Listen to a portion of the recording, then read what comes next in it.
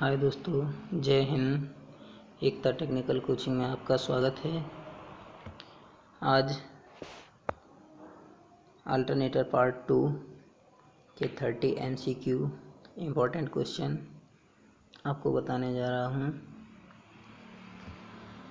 आशा करता हूँ आपके U P P C L, विद्युत उत्पादन, एन सी एल तथा अन्य परीक्षाओं में इन थर्टी एम सी क्यू से अधिक से अधिक क्वेश्चन आने की संभावना है। चलिए दोस्तों, प्रारंभ करते हैं। प्रत्यावर्तक में वितरण गुणक, जिसको के डी के नाम से जानते हैं, का अधिकतम मान कितना होता है?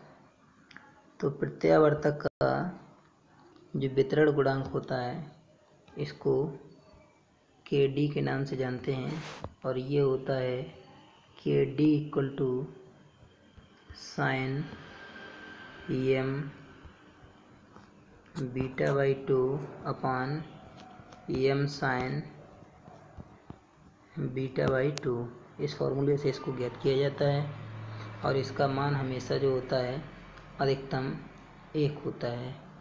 तो यहाँ पर ऑप्शन आपका हो जाएगा सी सही। अगला देखिए। वितरण गुणांक का मान K D equal to one point triple zero होने पर दो निकटतम खाँचों के मध्य वितरण कोण बीटा का मान का मान क्या होगा? तो ये जब, जो डिस्ट्रीब्यूशन फैक्टर है, जो वितरण गुणांक या चौड़ाई या कुंडली गुणांक जो होता है, इसका मान इकाई होने पर जो बीटा, जो विस्थापन कोण है इसका वैल्यू हो जाता है साठ डिग्री। अगला। पहला ऑप्शन सही है इसका। अगला है निम्न में, वितरण या चौड़ाई गुणांक के लिए क्या सत्य है? अभी मैंने जैसे आपको बताया था कि K D equal to sine M beta by two upon M sine beta by two अर्थात तीसरा ऑप्शन आपका सही है।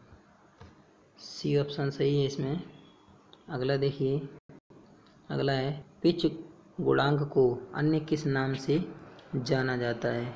तो पिच गुणांक जो होता है, उसको कुंडली विस्तार गुणांक, पिच फैक्टर को के पी के नाम से भी देख देखते हैं। के पी या के सी इन दोनों को पिच गुणांक के नाम से जाना जाता है। जो डिस्ट्रीब्यूशन या वितरण गुणांक जो होता है, वो के डी होता है। वितरण गुणांक को, वितरण गुणांक को कुंडली गुणांक या चौड़ाई गुणांक, इन नाम से भी जाना जाता है, जबकि जो पिच गुणांक है, इसको कुंडली विस्तार गुणांक के नाम से जाना जाता है। इसको के पी या के डी से प्रदर्शित करते हैं। दोस्तों बी ऑप्शन आपका राइट है। अगला है ज्यावक्रिय तरंग में वर्ग माध्य मूलमान और औसत मान का अनुपात क्या होता है? आरएमएस वैल्यू और एवरेज वैल्यू का जो रेशियो होता है, उसको रूप गुणांक कहते हैं। दोस्तों फॉर्म फैक्टर या रूप गुणांक। बी ऑप्शन आपका सही हो जाएगा और इसका वैल्यू जो होता है, ज्यावक्रिय तरंग के लिए वन पॉइंट वन वन होता है और फॉर्म फैक्टर को के एफ़ के द्वारा प्रदर्शित किया जाता है। इसका वैल्यू ये होता है। अगला जो क्रिस्ट क्रिस्ट गुणांक है, क्रिस्ट गुणांक को पीक फैक्टर के नाम से भी जाना जाता है और ज्यात वक्रीय तरंग के लिए क्रिस्ट गुणांक जो होता है, के के पी इसको इसका वैल्यू जो होता है अंडर रूट टू या one point four one four ये होता है साइन वेव के लिए। अगला है प्रत्यावर्तक में विद्युत बागवल ई तथा आवृत्ति में क्या संबंध है?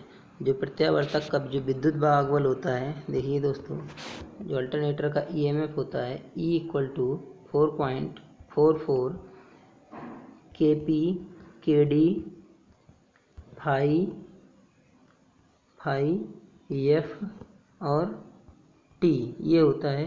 तो यहाँ अगर सभी को कांस्टेंट मान लिया जाए तो ई e हो जाएगा समानुपाती एफ़ के सी ऑप्शन आपका सही होगा। अगला निम्न में प्रत्यावर्तक के विद्युत भाग बल के लिए क्या सत्य है? जैसे कि मैंने लिखा था अभी E equal to four point four four K P K D five F T ये प्रत्यावर्तक के लिए सही विद्युत वाहक बल है। जब यहाँ पर जेड होता है तो यहाँ जेड के स्थान, अगर यहाँ पर जेड रहेगा तो यहाँ पर टू पॉइंट टू टू होता है। जेड इक्वल टू होता है Z equal to two T तो जब जेड रहेगा विद्युत भाग बल में तो यहाँ पर फोर पॉइंट फोर फोर के स्थान पर टू पॉइंट टू टू लेते हैं। डी ऑप्शन आपका सही होगा। अगला, आजकल किस प्रत्यावर्तक का प्रयोग लगभग नगण्य है? तो दोस्तों, सिंगल फ़ेज़ प्रत्यावर्तक का यूज़ आजकल जो है, लगभग नगण्य हो गया है। पहला ऑप्शन सही होगा। टू फ़ेज़ और थ्री फ़ेज़ के प्रत्यावर्तक प्रचलन में हैं। इनमें से सबसे ज़्यादा प्रचलन में थ्री फ़ेज़ के प्रत्यावर्तक हैं। Three phase four wire supply out output देता है अल्टरनेटर और उसी से हम सिंगल फ़ेज़ ले सकते हैं, एक फ़ेज़ एक न्यूट्रल लेकर के। चलिए दोस्तों, पहला ऑप्शन इसका सही है। अगला है, किसके निर्धारण का शक्ति गुणक पर कोई प्रभाव नहीं पड़ता? तो यहाँ पर जो के होता है के के निर्धारण पर शक्ति गुणक का कोई प्रभाव नहीं पड़ता है। डी ऑप्शन आपका सही होगा। अगला है, प्रत्यावर्तक का आर्मेचर किस पदार्थ से बना होता है? ये होता है लौह मिश्र धातु। तांबा मिश्र धातु से बनता नहीं, चांदी से बनता नहीं, सभी हो नहीं सकते। लौह मिश्र धातु, इसको सिलिकॉन स्टील भी कहा जा सकता है। सिलिकॉन स्टील में जो सिलिकॉन सिलिकॉन स्टील जो होता है, इसमें सिलिकॉन की मात्रा जो होती है, वो लगभग फाइव परसेंट होती है। अगला है, भंवर धारा हानियाँ। फ्लक्स घनत्व के किस घातांक के समानुपाती होती हैं? जो भंवरधारा हानियाँ होती हैं ईडी करंट के नाम से इनको जाना जाता है, इसको डब्ल्यू ई डब्ल्यू ई जो होती हैं, वो किस घातांक इक्वल टू होता है हमारा? यहाँ पर eta B square B M square F square, T square, V watt. जो हानियाँ होती हैं लौ हानियाँ हों या फिर ताम्र हानियाँ हों, लौ हानियाँ में भंवरधारा हानियाँ तथा हिस्टेसिस हानियाँ, सभी का मात्रक वाट होता है। और इसमें पूछा गया है कि भंवरधारा हानियाँ तथा फ्लक्स घनत्व बी में क्या संबंध है तो यहाँ पर हो जाएगा, सभी को कांस्टेंट अगर मान लिया जाए तो हो जाएगा डब्ल्यू ई समानुपाती बी एम स्क्वायर तो मतलब घात दो के बराबर होती है भवन भंवरधारा हानियों में। दोस्तों, यहाँ ऑप्शन हमको नहीं लग रहा है, कोई सही है। तो यहाँ पर आप सही कर लेंगे। ये जो अंडर रूट टू लिखा है तो यहाँ पर टू हो जाएगा। डी ऑप्शन आपका सही हो जाएगा। अगला है क्षरण फ्लक्स क्षरण धारा के लगभग। फ्लक्स क्षरण धारा के लगभग समानुपाती होता है। बी ऑप्शन आपका। हाँ दोस्तों ग्यारह नंबर क्वेश्चन में पहला ऑप्शन सही है, वर्ग यहाँ लिखा है, वर्ग के घातांक के वर्ग के समानुपाती होता है। पहला ऑप्शन इसका सही था, डी सही नहीं है, पहला सही है, क्योंकि डी में अंडर रूट टू लिखा है। अगला था, फ्लक्स क्षरण धारा के लगभग समानुपाती होता है, बी ऑप्शन इसका सही है। अगला है, आर्मेचर का प्रभावी प्रतिरोध, दृष्ट धारा की अपेक्षा परिवर्तित होता है। तो आर्मेचर का प्रभावी प्रतिरोध डीसी की अपेक्षा कुछ बढ़ जाता है। इसमें जो बढ़ता है, वो होगा लगभग two point sorry, one point two के आसपास जो डीसी का प्रतिरोध होता है, वो एसी की अपेक्षा कम होता है। Two point one point two इतना कम होता है लगभग एसी की अपेक्षा डीसी का। या फिर जो आर्मेचर होता है आर्मेचर को जब हम सप्लाई देते हैं तो डीसी सप्लाई देते हैं और ये जब प्रचलन मतलब प्रारंभ हो जाता है तो आर्मेचर के अंदर एसी सप्लाई जनरेट होती है। एसी सप्लाई होती है ज्यावक्री तरंग होती है और इसमें स्किन इफ़ेक्ट त्वचिक प्रभाव इसके चालकों में उत्पन्न हो जाता है, जिस कारण इसका चालकों का रजिस्टेंस जो है थोड़ा सा बढ़ जाता है। तो यहाँ पर प्रभावी प्रतिरोध जो है, वो 1.2 अधिक होता है। दोस्तों बी ऑप्शन आपका सही होगा। अगला है, निम्न में हिस्टेरिसिस हानियों के लिए क्या सत्य है? यहाँ हिस्टेरिसिस हानियों के लिए जो सत्य है, वो ऑप्शन है आपका डी हिस्टेरिसिस हानियाँ जो होती हैं W H W H equal to eta B M का power one point six F V ये होती हैं तो यहाँ पर ये ऑप्शन आपका सही होगा डी अगला है लॉ पथ फ्लक्स के लिए। लॉ पथ फ्लक्स के लिए कम रिलक्टेंस या प्रतिष्ठम्भ प्रदान करता है। पहला ऑप्शन आपका सही होगा। अगला है, निम्न में प्रेरकीय प्रतिघात एक्सेल के लिए क्या सत्य है? दोस्तों बेसिक इलेक्ट्रिकल में आपको इसी फंडामेंटल में बताया गया था X L equal to omega L और ओमेगा का वैल्यू जो होता है वो टू पाई एफ़ होता है तो यहाँ पर X L equal to two pi F L हो जाएगा। और ये सभी रजिस्टेंस ओम ओम में इसका मात्रक होता है तो डी ऑप्शन आपका सही हो जाएगा। इसके स्थान पर यदि एक्स सी पूछा जाए, एक्स सी प्रेर की धारतीय प्रतिघात अगर पूछा जाए तो ये होता है X C equal to one upon omega C, या फिर इसी को हम लोग लिख सकते हैं, one upon two pi F C. Ohm में इसका भी मात्रक होगा। अगला है, छोटी मशीनों के लिए निम्न नियमन ज्ञात करने की कौन सी विधि सुविधाजनक है? तो प्रत्यक्ष लोड विधि, छोटी मशीनों का वोल्टेज रेगुलेशन ज्ञात करने की प्रत्यक्ष लोड विधि सबसे अच्छी विधि है, और बड़ी मशीनों में इस बड़ी मशीनों का जो नियमन इस विधि से अगर ज्ञात करते हैं तो ये खर्चा थोड़ा सा ज़्यादा आ जाता है, इसलिए इस विधि का उपयोग बड़ी मशीनों में नहीं किया जाता है। बड़ी मशीनों में शून्य लोड या पार्टियार विधि या फिर एमएमएफ या एम्पियर टर्न विधि का उपयोग बड़ी मशीनों के रेगुलेशन ज्ञात करने के लिए किया जाता है। छोटी मशीनों के लिए प्रत्यक्ष लोड विधि होती है। पहला ऑप्शन सही है। अगला प्रत्यावर्तक का इकाई शक्ति गुणक पर नियमन का मान हो सकता है। अठारह नंबर का आपका दस से पंद्रह परसेंट होता है। ये इसको याद रखना दोस्तों।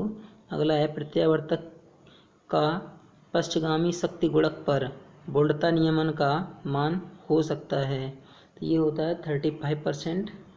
उन्नीस का डी थर्टी फाइव परसेंट होता है। अगला है प्रत्यावर्तक में अग्रगामी लोड शक्ति गुणक पर बोल्टता नियमन होगा। अगर देखिए दोस्तों, इसको बताते हैं आपको, याद हो जाएगा बड़ी आसानी से। एक चतुर्थांश बनाइए। एक चतुर्थांश बनाएँगे तो इसमें ये होता है प्लस प्लस और ये होता है माइनस माइनस। इधर होता है आपका एक्स सी और इधर होता है आपका एक्स एल। या फिर इधर होता है वी एल और इधर होता है वी सी। इधर होती है धारा। ये होते हैं एंगल। थीटा ये भी एंगल होगा, थीटा। अब यहाँ पूछा गया है, शक्ति गुणक प्रत्यावर्तक में अग्रगामी लोड शक्ति गुणक पर बोल्टता नियमन होगा। जब लोड अग्रगामी होगा, लोड अग्रगामी मतलब करंट आगे होगा। जब करंट आगे होगा लोड लोड अर्थात करंट, जब करंट आगे होगा तो शक्ति गुणक जो सॉरी, जो नियमन होगा, वो ऋणात्मक मतलब नीचे की तरफ़ होगा। ये बीस नंबर क्वेश्चन का आपका आंसर सी सही होगा। यदि जो अग्रगामी के स्थान पर पश्चगामी लोड लोड मतलब धारा, ठीक है? Load, L O A D, load मतलब होता है धारा। तो धारा जब पीछे है, धारा जब पीछे है, जब धारा पश्चगामी होगी तो सब जो वोल्टेज नियमन होगा, वो धनात्मक होगा।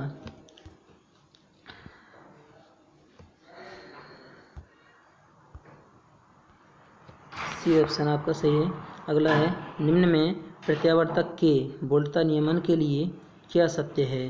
प्रत्यावर्तक के वोल्टता नियमन के लिए पहला ऑप्शन आपका सही है। परसेंटेज नियमन equal to E zero minus V upon V into hundred होता है यहाँ पर इंटू हंड्रेड अगला है, पाटियार विधि तथा तुल्यकाली प्रतिवादा विधि के द्वारा किसे ज्ञात किया जाता है? तो अभी ऊपर क्वेश्चन में था, इसके द्वारा रेगुलेशन को ज्ञात किया जाता है।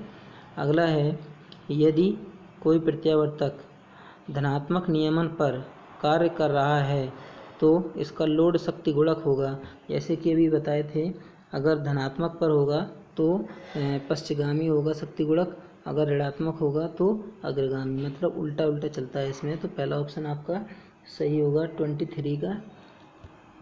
अगला प्रत्यावर्तक के आर्मेचर का प्रतिरोध ज्ञात करने के लिए किस विधि का उपयोग नहीं किया जाता है? तो प्रत्यावर्तक का आर्मेचर प्रतिरोध जो होता है, वो बहुत कम, अति निम्न होता है। इसलिए यहाँ पर हम मेगर का उपयोग नहीं करेंगे, क्योंकि मेगर का उपयोग जो किया जाता है, मेगा ओम में प्रतिरोध को ज्ञात करने के लिए किया जाता है। यहाँ तो एक ओम या पॉइंट में प्रतिरोध होता है। आर्मेचर का। इसलिए इन तीनों एमीटर, वोल्टमीटर, विधि विटस्टोन सेतु और कैलविन ब्रिज, इनका सबका अल्पमान के प्रतिरोध ज्ञात करने के लिए किया जाता है। यहाँ पर ऑप्शन डी आपका सही होगा। अगला है, त्वचिक तो प्रभाव के कारण गतिशील अवस्था में आर्मेचर का प्रभावी प्रतिरोध कितना बढ़ जाता है? तो ये होता है बीस से साठ परसेंट। आपका बी ऑप्शन सही होगा। अगला है निम्न में प्रत्यावर्तक का प्राथमिक चालक हो सकता है। तो अल्टरनेटर का जो प्राइम मूवर होता है, प्राथमिक चालक होता है, ये सिंगल फ़ेज़ मोटर हो सकता है। तुल्यकाली मोटर तो बहुत बड़ी होती हैं थ्री फ़ेज़ की। तो इसका हम प्राथमिक चालक के रूप में उपयोग नहीं कर सकते। कंजर्वेटर जो लिखा है, ये ट्रांसफार्मर का पार्ट है अल्टरनेटर में आता ही नहीं है। एक्साइटर जो है, वो प्राथमिक चालक होता नहीं है, ये उत्तेजन का कार्य करता है। तो पहला ऑप्शन आपका सही हो जाएगा सॉरी सी ऑप्शन आपका सही होगा। अगला है कार्बन ग्रेफाइट ब्रशों के लिए कितनी वोल्टता प्रति ब्रुश लेते हैं? कार्बन ग्रेफाइट के लिए ट्वेंटी सेवन का आपका E one point five volt प्रति ब्रुश। ये दोनों ब्रुशों के लिए तीन वोल्ट हो जाएगा। अगला है, धातु ग्रेफाइट ब्रुशों के लिए संपर्क वोल्टतापात कितना लेते हैं? तो ये धातु के लिए जो होता है ट्वेंटी एट का C zero point two five volt प्रति ध्रुव। अगला है, निम्न में, कौन सी हानियाँ सीधे ही ज्ञात नहीं की जा सकती? तो स्ट्रे हानियाँ जो होती हैं, उनको सीधे ही ज्ञात नहीं किया जा सकता है। ट्वेंटी नाइन का ए ऑप्शन आपका सही सॉरी ट्वेंटी नाइन का ए ऑप्शन आपका सही हो जाएगा। स्ट्रे हानियाँ ज्ञात नहीं की जा सकती हैं, सीधे ही इनका केवल अनुमान लगाया जा सकता है। बाकी लौ हानियाँ यांत्रिक हानियाँ और ताम्र हानियाँ इनको सबको ज्ञात किया जा सकता है। अगला है, तीन कला प्रत्यावर्तक में संपूर्ण ताम्र हानियाँ जो होती हैं वो three I square R A watt. I जो है आर्मीचर धारा है, आर जो है आर्मीचर का रेजिस्टेंस और थ्री मतलब थ्री फ़ेज़ की मशीन है। थैंक यू फॉर वाचिंग अगर हमारा वीडियो आपको अच्छे लग अच्छा लगे तो आप अपने मित्रों में शेयर करिए सब्सक्राइब एवं लाइक करिए और अगर आप लाइक करेंगे सब्सक्राइब करेंगे शेयर करेंगे तो हमारा मोटिवेशन और बढ़ेगा और मैं अच्छे से अच्छे वीडियो आपको कंटिन्यू प्रोवाइड करवाता रहूँगा। हाँ दोस्तों इस वीडियो का पीडीएफ आपको यदि देखना है कुछ सॉल्व करना है तो हमारे एटीसी इलेक्ट्रिकल टेलीग्राम चैनल पर उपलब्ध है तो इसको देख सकते हैं आप। Thank you